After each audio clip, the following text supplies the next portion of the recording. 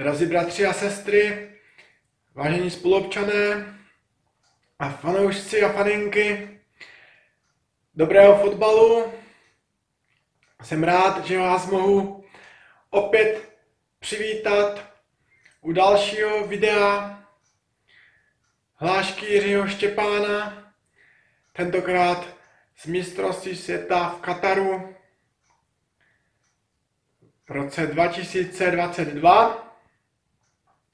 Předně musím říct, že to mistrovství se jim podařilo co do pořádatelství.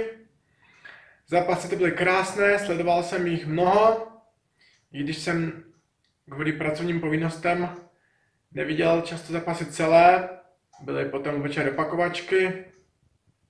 To je jedno.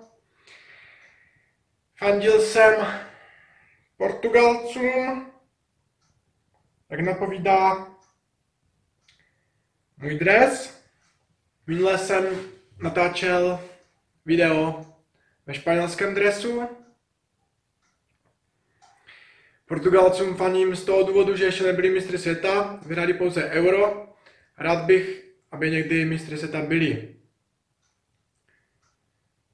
Tak jdeme na to. Včera se mi jedno video nepovedlo, to druhá část. Natočilo se to na křivo, tak jsem musel točit znovu a spojit to s tím původním videem. Takže trošku jiná vizáž. A v prvé řadě o futbol é o numero um do mundo. Jdeme na to.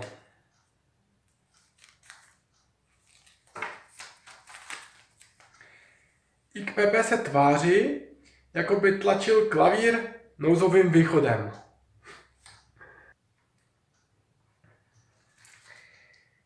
Myslím si, že v 15 milionové zemi, kde mají 14 milionů 998 tisíc trenérů, bude velké zklamání. Tak, tady toto je jasné, to je zápasu Nizozemska. Jak jistě poznáte, podle té indicie 15 milionů obyvatel. Nizozemsko má více než 15 milionů obyvatel. A otázka, jestli má i těch 14 milionů trenérů, nebo skoro 15 milionů, jak je tady řečeno. Další nizozemská ztráta. Je, otázkou, je otázka, jak dlouho s tím bude mít Fanchal trpělivost. Fanchal, nizozemský trenér, který úspěšný trenér, který bohužel onemocněl rakovinou prostaty. A moc chtěl vyhrát ten titul.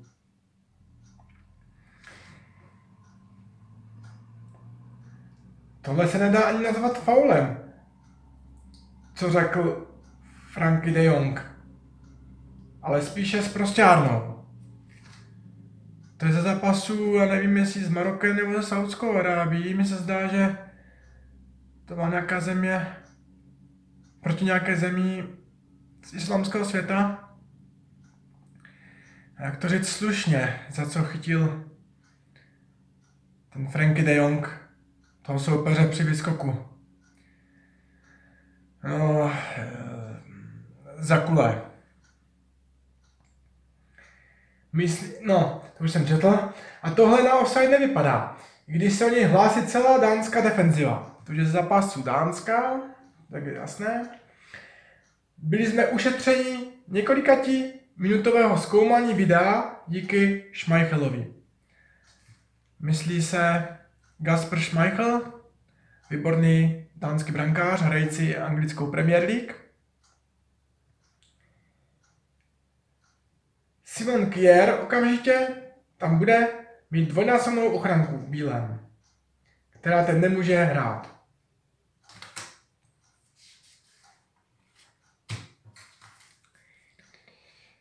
Žlutou kartou si tam vzpomněl rozhodčí na zákrok Madiba na půlce.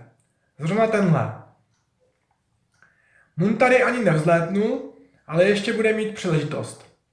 Tomu musím říct, že bych zkomil nějaké jméno, nebo použil nějaké jméno, které tam vůbec nebylo, tak je to tento případ.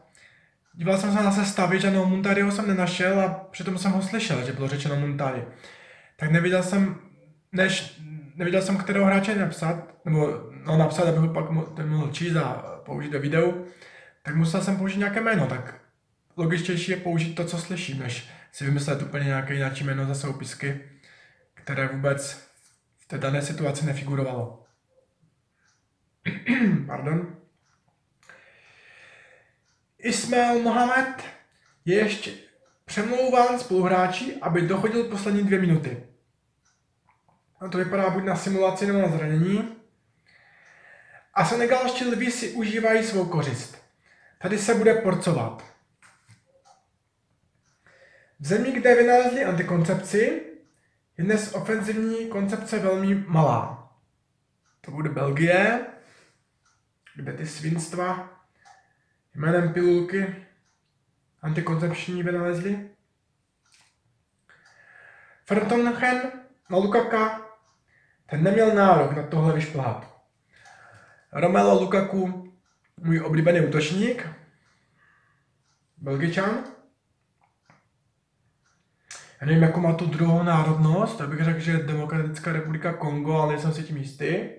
Když tak se můžete podívat a zkontrolovat třeba podle stránky Eurofotbal. Tam mám účet Ježíště miluje, ale nekomentuju tam často.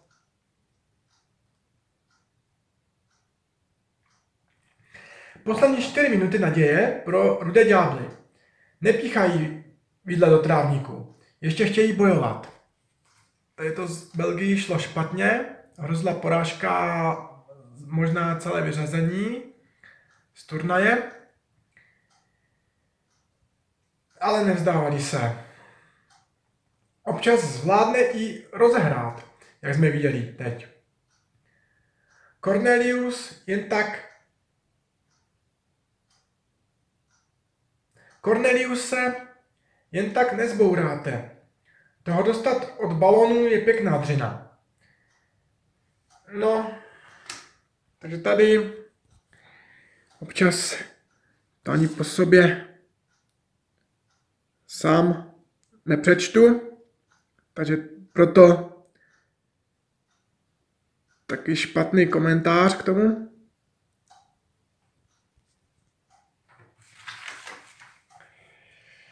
Já jsem to skončil na ministerstvu. Davies zavrál moral, ale Bačuaj jej stejně k míči nepustil. Zatím bych neřekl, že nastal čas ďábla, protože zatím jsou rudí ďáblové velmi krotci mazlíčci. Řekl bych, že senegalská kapela ještě trochu přiložila pod buben. Tak tomu lze říct, to jsou ty úžasné africké fanouškovské kapely v publiku. Mohli jsme to vidět na mistrovství světa v Jižní Africe, v Africké republice v roce 2010. Tam to troubaní ale zlo až místem na nervy, ale ještě lepší to bylo při mistrovství světa v Jižní Koreji a Japonsku v roce 2002. A taky se jednalo o senegalské fanoušky, kteří se ale mimochodem v kvalifikaci na toto mistrovství ukázali jako s proměnutím prasata, kdy ovlivnili zápas s Egyptem, svítili lasery při penaltovém rozstřelu brankáři soupeře do očí na obličej a taky kopajícím egyptianům.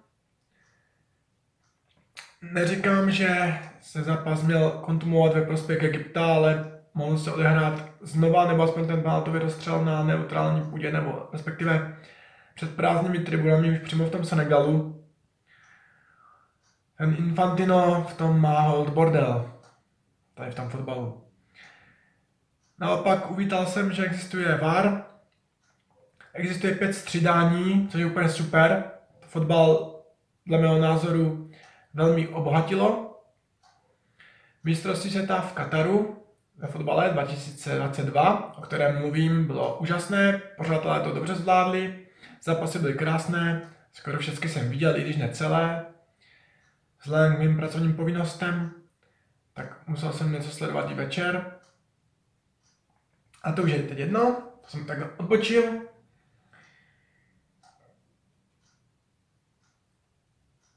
Tady si Pedro Miguel ustlal na trávníku.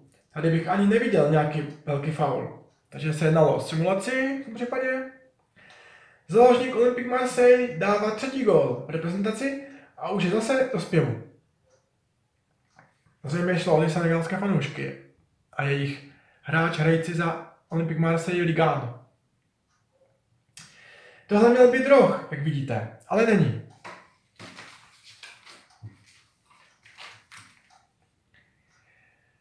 V Ekvádoru je 86% katolíků, jako já. Ti ještě věří, že se s tím dá něco udělat. Podle výrazů ve tváři těchto fanoušků to vypadá, že se sešli sami ateisté. Ne, že by v Ekvádoru bylo, nebo tyto fanoušci by byli zrovna ateisté, ale ten narážka na to, že nemají moc pevnou víru, že už nedoufají ani v zázrak a nevěří ve vlastní postup,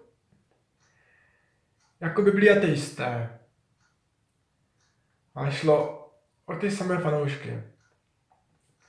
Já myslím, že v Senegalu se budou shánět sochaři, protože Aliou Sise si nějakou tu podobiznost kamene zaslouží. Úspěšný trenér Senegalu během tohoto šampionátu. A teď nevím jméno, protože tuhle hlášku zaznamenala mamka, já jsem byl zrovna pryč.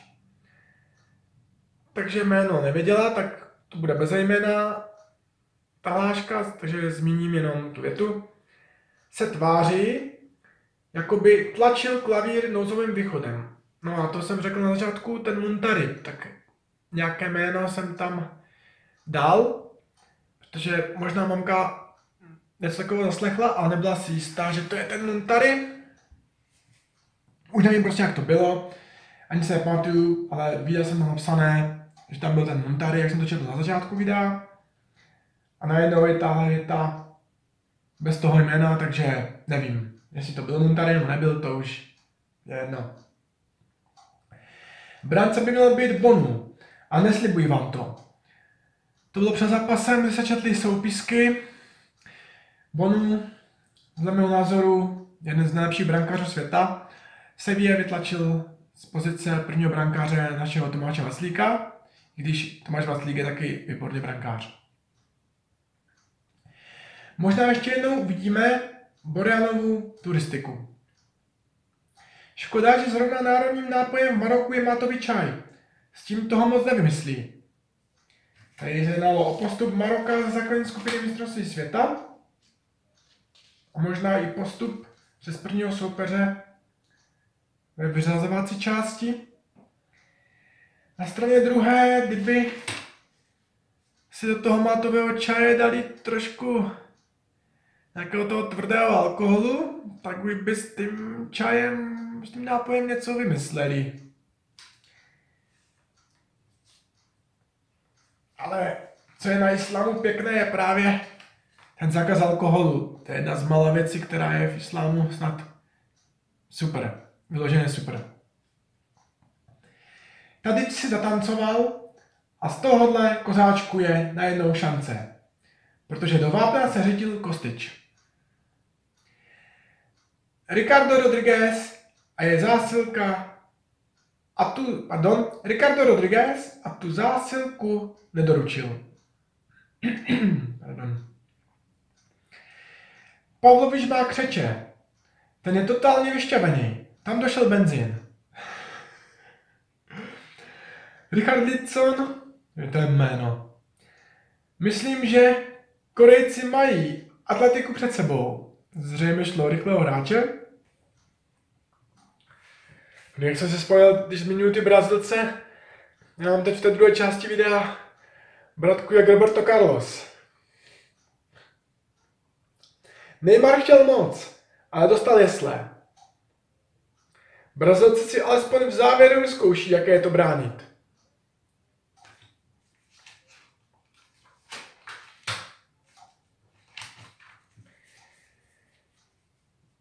Blížíme se k závěru. Země s největší koncentrací miliardářů naloží teď několik z nich do letadla a letí zpátky. Takže to je ke konci účinkování Brazílie na tomto mistrovství. Vypadlo i Portugalsko. Zapasel třetí místo jsem fandil Maroku, že jsem chtěl, aby africká země měla medaily. A jako první africká země, která by vybojovala medaily na mistrovství světa. A ve finále jsem se přiklonil spíše k té Argentině. Nejenom kvůli Messimu, ale i kvůli Di Mariovi, legendě Real Madrid, který si to taky zasloužil. Takže jsem spokojený. No a koho zajímá, či je to dres,